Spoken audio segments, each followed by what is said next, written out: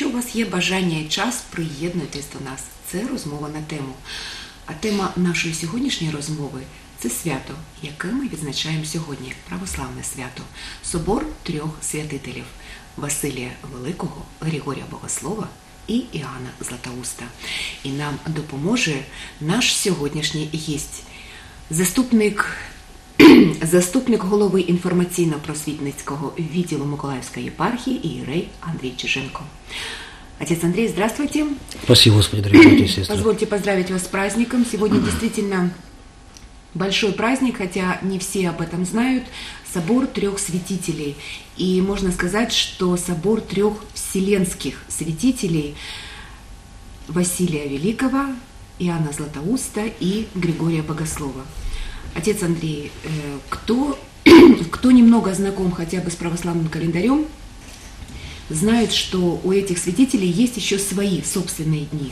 Но вот сегодня православная церковь объединяет их в собор трех святителей. Почему их соединили вместе в один праздник? Будьте добры. Чем они дороги нашему православному сердцу? Да, дорогие братья и сестры, очень приятно снова быть здесь, среди вас, по э, любезному и очень э, хорошему приглашению телеканала Николаев, вас лично, Анеточка, очень рады быть здесь. Сегодня действительно Великий День Церкви. Это воистину, можно его назвать, я вот лично для себя его называю торжеством православия, потому что сегодня мы празднуем собор трех э, святителей и людей, которые имеют, еди... только эти три человека имеют в себе скажем, э, звание э, Вселенские учителя церкви, то есть учителя э, всей церкви. Это Василий Великий, Григорий Богослов и Иоанн Златоуст.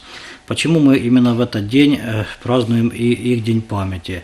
То есть, если, допустим, есть у них и отдельный день памяти, мы знаем, что по новому стилю 14 января День Святого Василия Великого, недавно был, было перенесение мощей 7 февраля стиля Яна Златоуста, и есть отдельный день памяти стиля Григория Богослова.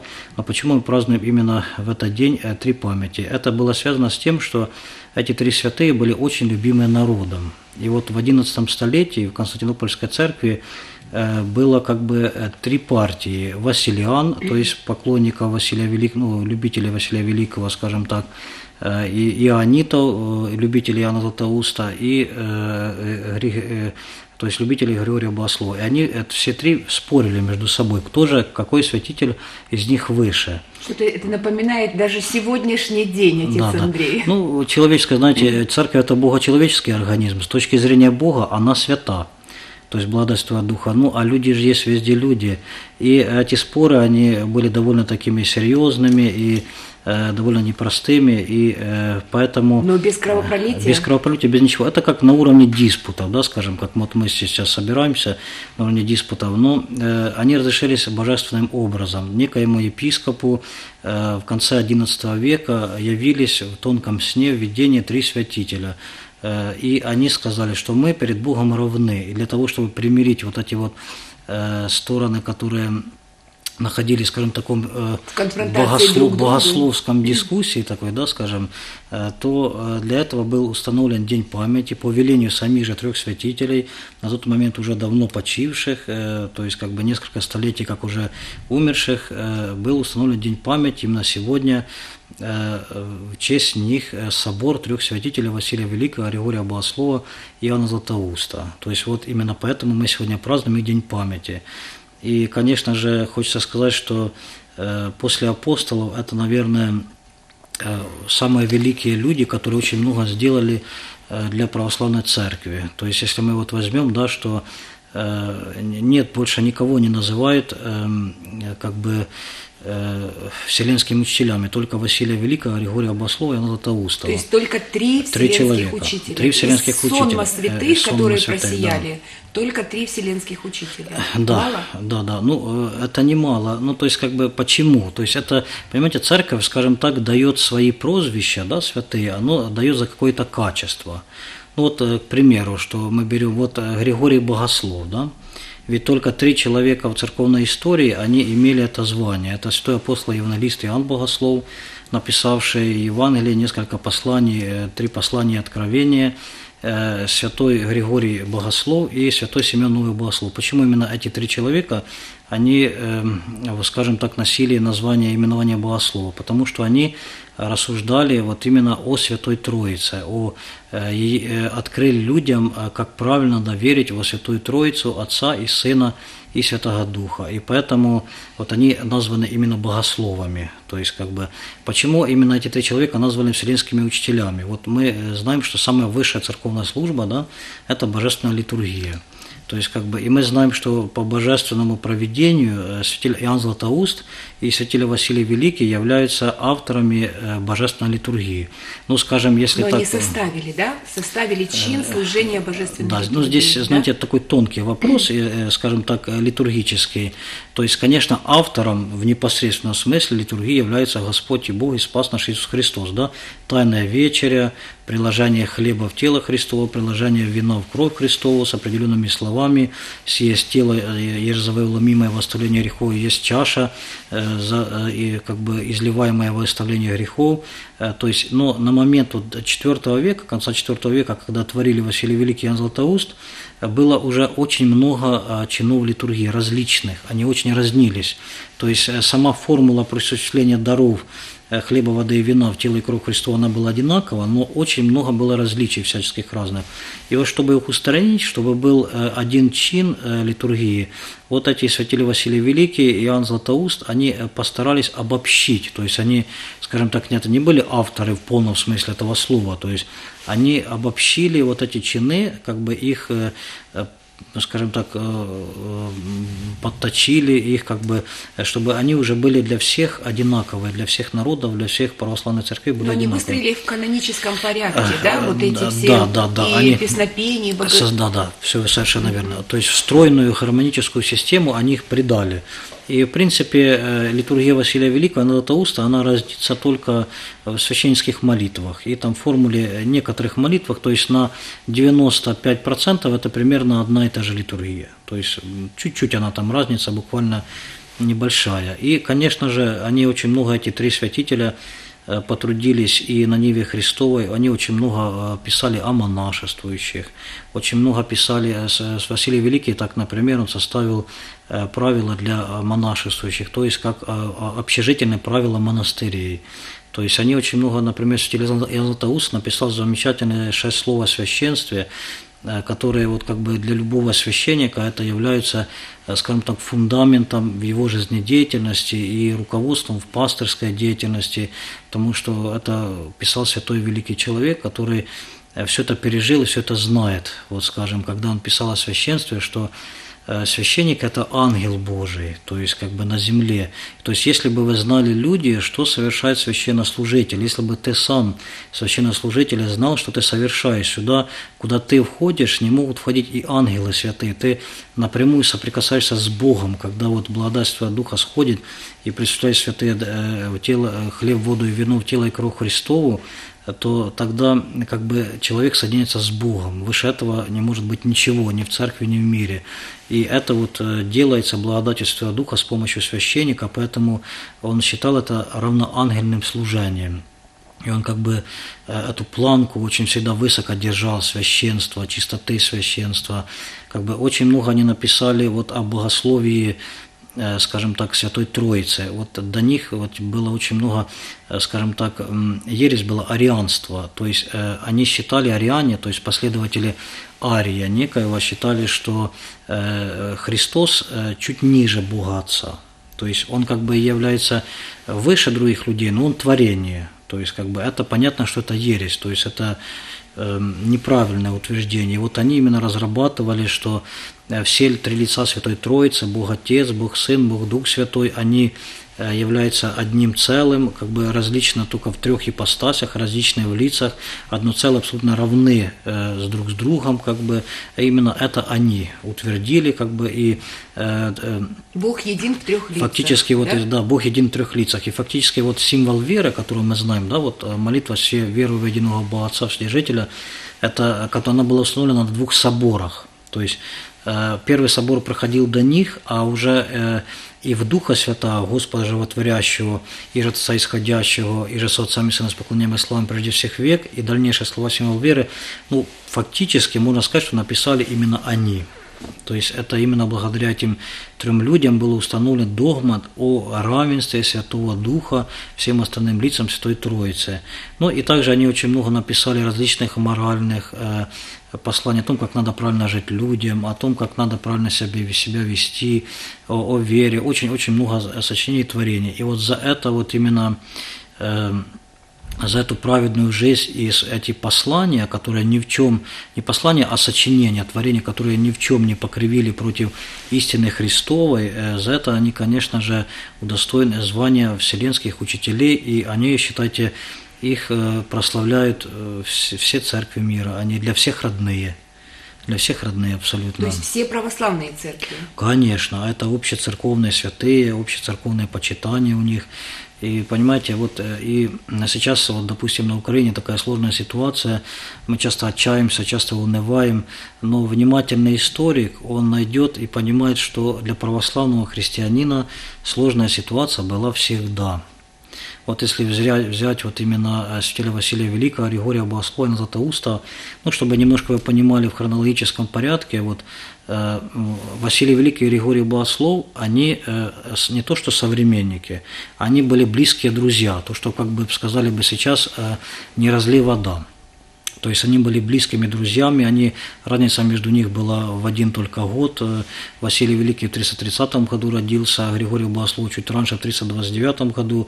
И они как бы вместе учились, и вместе они совершали свое служение, то есть они были реально друзьями. Уже Иоанн Златоуст, он немножко позже, он на 10 лет, он младший современник, на 17 лет он позже Но родился. тоже современник. Ну, младший, да, младший mm-hmm. современник. Может, они были и не были знакомы, скажем так, но э, как бы он очень близко тоже. Они все были от одно поколение, практически одно поколение. И вот хотелось, конечно, сказать о том, что как бы время тогда было очень непростое. Вот мы говорим, что вот гонения были на церковь в начале 20 века, да, вот уничтожали э, там большевики церковь, гони, вот недавно соборного мучили исповедников, тысячи имен, да, прославленных и непрославленных святых, э, но тогда тоже ведь так было. Понимаете, тогда вот, допустим, святой Григорий Богослов, он пришел на Константинопольскую кафедру, Константинополь, да, казалось бы, святой град Константинополь, конец IV э, века, да, ну, казалось бы, все должно быть нормально, в порядке. Но не так было. Он пришел, он был, э, у него даже не было храма, где служить. Представьте, Константинопольского э, православного патриарха не было храма для служения, потому что все остальные храмы были заняты еретиками-арианами. И вот он э, вынужден был служить э, в храме, э, как бы двор, ну, у него были богатые родственники, и при как бы их как бы дворца или как бы жилище, я не знаю точно, был храм домовой. Ну, может быть, это была комнатка какая-то. И вот с этого домового храма, который назвал святитель Григорий Богослов Анастасиус, то есть воскресение, и началось воскресение, опять же, православного Константинополя, когда эм, как бы э, святитель Григорий Богослов там начинал свое служение. Все остальные храмы были завоеваны арианами. И доходило вплоть до того, что, допустим, он служил Пасху вместе с епископом. И это очевидный и факт, что вырывается толпа ариан э, с камнями, они избивают, бросают камни в них во время как раз литургии, пасхальную ночь, убивают епископа, тяжело ранят Григория Богослова, Э, то есть как бы, но благодаря, вот он написал так, говорит, «Э, ко мне люди льнули, как железо льнет к магниту. И вот благодаря его усилиям, благодательству Духа, вот Константинополь был избавлен от этой ереси и воцарилось православие. Но как только оно воцарилось, э, сразу же произошла новая интрига, появились противники, и Святого Григория Богослова решили свернуть с престола Э, с престола э, патриаршего Константинополя.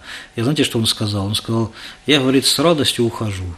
Говорит, мне самое главное, чтобы мир был в корабле церковном, чтобы он был это. А я отставляю патриарший престол с радостью. Почему с радостью? Потому что это был, э, он стал не по сребролюбию патриарха, не стал не, не по жажде власти патриарха, по Божьему призванию. И он э, всю жизнь оставался анахаретом, отшельником, таким, каким он и был э, всю жизнь. То есть у него была одна ряса дырявая, э, там, э, он жил, э, ну, писали не современники, что он в Константинополе жил как э, э, в пустыне. Он питался нищенскими, там, подая, не подаянием, нищенскими какой-то пищей, и при дворе он жил, ничего не прося у двора. И, конечно же, когда он э, с радостью ушел от патриаршества, он поселился в пустыньке, где и умер, стиле Григория Богослова. А стиль Василий Великий, он также был призван э, на служение в великом городе Кесария Каппадокийская. Сейчас этот город, по-моему, есть, он называется населенный пункт в Турции. То есть это полуостров Малая Азия, где находится Турция, да, раньше это было греческие поселения, то есть и вот одно из самых больших, как бы скажем, греческих поселений это была Каппадокия, то есть в переводе э, с персидского область прекрасных коней, Каппадокия. Да, область, это была равнин, равнинная местность, как бы там были много полей, степей, да. И вот э, Кесария это был главный город Каппадокии. И вот Василий Великий, он родин, родом был оттуда, и его избирает народ э, э, архиереем, архиепископом Кесарии Каппадокийские. Э, и тоже было очень трудное время, очень трудное время. Когда только его избирает арианский префект, ну, префект мэр, да, по-нашему, мэр Модест приходит к нему и говорит, если ты не перейдешь в арианство, то я, мы тебя просто убьем. А он На вот, минуточку. Да, да, убьем просто, или лишим престола, убьем там и так дальше, так дальше. Стиль Василий Великий отвечает ему следующее, говорит, ну, говорит, ну, если ты меня, говорит, пошлешь в ссылку, я буду рад, потому что везде место Божье везде Господня земля. Если ты арестуешь мое имущество, можешь арестовать, у меня ничего нету. Говорит, у меня одна дырявая ряса, э, старые книжечки, по которым я молюсь, больше у меня ничего нету. Если ты решил забрать у меня жизнь, ну забирать для меня будет страшен только первый удар, потому что я слаб и хил, а второго удара я уже не выдержу, я сразу умру и соединюсь со Христом. И когда он это сказал, Модест был, скажем так, настолько он впечатлен этим рассказом, что когда он оставил его и приехал к царю, тоже нечестивому Валенту, э, в Константинополь, и э, как бы он арианину тоже, и он сказал, что нас, царь, мы побеждены э, епископом Кесарий Каппадокийским. И также Василий Великий, он очень много страдал, очень рано умер из этих трудов непосильных, когда ну, надо было как бы церковь сохранить чистоту православной вере, при том при всем, что множество кафедр было за, занято арианами, и э, как бы и также действовал арианский епископ, там в кавычках псевдоепископ на территории Ксарика Подокийске, и как бы он и очень из этих понес трудов очень много, 49 лет очень рано умер, стиле Василий Великий. Э, и э, если взять, например, святителя Иоанна Златоуста, ну, их младшего современника, он уже, э, эти два человека были из Кесарии Каппадокийской, Григорий Богослов и Василий Великий. Ну, Григорий Богослов немножко с другого города, но с той же области. А Иоанн Златоуст был тоже очень древнего, богатого, большого города, Антиохии Сирийской, э, тоже рядышком, в принципе, недалеко она находится от Кесарии Каппадокийской, э, противоположная область. Он также был тоже очень ревностным человеком. И что примечательно для всех троих, вот они убегали священнической чести. Когда их пытались сделать епископской епи... чести, да? сначала священнической, mm-hmm. ну сначала рукоположить диакон, священник, mm-hmm. потом епископ, да, но когда вот их хотели рукоположить пресвитеры, то они убегали от этой чести, э, потому что они считали себя очень недостойными. Но все-таки их, скажем так, ловили, в хорошем смысле слова, уговаривали, как бы очень много было всяких разных э, уговоров, и они принимали этот сан. И вот святитель Ян Златоуст, который э, стал епископом родной Антиохии, э, и вот ему, он Златоуст почему, да, потому что золотые уста, то есть он настолько такие проповеди говорил, он интересно и говорил, необычно. То есть в чем эта необычность прилагалась, он, допустим, служил богослужение, и был очень доступный, очень простой человек, как бы он выходил, э, ставили для него кресло, как бы, и он тут в храме часами с людьми То есть говорил. проповедь в форме беседы. Да, да, в форме беседы. То есть абсолютно доступно, он садился в кресле, часами с людьми говорил, разговаривал на различные темы, там, ну, много говорил. И вот э, он был замечен при дворе э, Константинопольским двором, и э, ему было предложено, э, как бы, скажем так, сан патриарха Константинопольского. И он не смог отказать, конечно, потому что церковь его просила взойти на престол патриарша, и он взошел на него как на Голгофу. Это было, это действительно воистину для него стало Голгофа. Такое крест на крестоношение, потому что он Понимаете, одно дело Антиохия, другое дело Константинополь. Распущенность, развращенность нрава, столица, богатство, ястие, питье, всякое, всяческое разврат, всякие блудодеяния, вот это вот всякая разнузданность жизни, разнузданность нравов. И приходит человек такой сугубый молитвенник, у которого, как и Василия Великого было слово, одна ряса и одна, скажем так, вся в дырочках, и ничего своего нету. И он совершенно не вписывался в этот совершенно блестящий не вписывался. ритм жизни. Вообще не вписывался. Светский, и, и, и, земной. и, и мало того, что он же был уже еще полностью бескомпромиссным человеком. То есть он никакие компромиссы он не шел. С совестью, сделок с совестью, это было не для него. То есть он обличать обличал уже. Он написал много о театрах. То есть это, я прошу не путать с нашими театрами Чкалова или Муздрамом. Потому что театры современные и театры те – это разные вещи. Там были гладиаторские бои, э, кровавые жертвы, жертвы языческим богам, всякая распущенность нрава, всякие там ну, моменты нехорошие, ну, такие, скажем, блудодеяния были в театрах. Поэтому, конечно, он был очень против этих театров, очень против. И выступал против, против выступал всяких излишеств и развращенности нравов двора. Ну и как бы не укрылось Конечно, это... это не могло понравиться не могло, по, не могло понравиться царица Евдоксии, совершенно верно. И она начала против него происки. И вот святителя Яна Златоуста, она обвинила, нашли ложное абсолютно какое-то, я сейчас не точно не помню, обвинение против него, собрали лжесобор, когда несколько там, э, ну, обманутых, скажем так, иерархов, и его осудили на смерть. То есть император заменил э, эту смерть, заменил ссылкой на далекий Кавказ, тогда окраину Византийской империи, заменил ссылкой, но э, народ не хотел его отпускать. Они собрались во множестве, народ собрался возле храма и не хотели отпускать святителя Иоанна Златоуста. Но он предал себя в руки палачей, чтобы не было э, каких-то войны, кровопролития не было, и он себя в руки палачей предал. Но как только его вывели из-за Константинополя, началось землетрясение. И все поняли, что это Божье наказание за то, что этого праведника изгоняют из града, из Стенграда. Из Стенграда и он как бы его возвращает. Но буквально через два года снова лжесобор, снова интриги, и снова эта царица Евдоксия его из, э, как бы осуждает на это э, как бы ссылку на Кавказ, причем ссылка страшная, страшная в чем была воином, дан, дан был приказ а если этот святой уже довольно пожилой человек не дойдет до места ссылки, то это будет очень хорошо. Ага, то есть, типа, такой негласный приказ, вы можете его Просто убить, медленно убить. То есть убить его прямо нельзя, потому что народная любовь слишком большая была. Но если он где-то там умрет, это Мы будет ничего. Станем, Мы возражать не станем, да. И вот как бы представьте, как он шел. Представьте, что это было за путешествие. Угу. Это, конечно, было страшно для старца, и он не дошел до места ссылки, он изнуренный вот этой вот э, борьбой, изнуренный вот этими вот болезнями, скорбями пути, он умер в, в городе Каманы, по-моему, это Абхазия, если мне не изменять память, но умер тоже, скажем так, вот очень праведно. То есть э, там была могила мученика э, по-моему, э, Василиска. И вот он э, на могиле мученика, ему является Василиск, я говорит, друг, будешь со мной в Царстве Небесном, не переживай. За все это, что ты претерпел, ты будешь в Царстве Небесном. И он причащается, свято, исповедуется, причащается святых христовых тайн, служит литургию там в церкви и умирает в тот же день. То есть, но э, самое парадоксальное, вот почему нам надо хранить чистоту православной веры, то, что как только святителя Иоанна Златоуста изгоняют из Константинополя, Константинополь постигает бедствие. В чем они выражались? Они выражались в том, что сгорел собор, храм Святой Софии сгорел, и были нашествия варваров большие, сгорело здание Сената, и сама царица Евдоксия в день, когда его изгоняют, она умирает.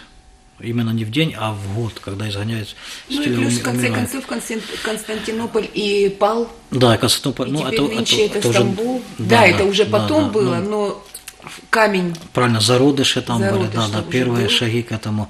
И когда, конечно, через, спустя около 30 лет э, народ э, решил спросить прощения, вернуть мощи святителя, вернуть в родной Константинополь. И когда император написал покаянную грамоту за своих родителей, за Евдоксию, что они просят прощения, что, что наказали, так обидели святителя, вернули в храме мученицы Ирины в Константинополе, положили мощи святителя, вернувшись из Кавказа, открыли раку, и рака была, по, по, скажем так, мощи были абсолютно нетленными.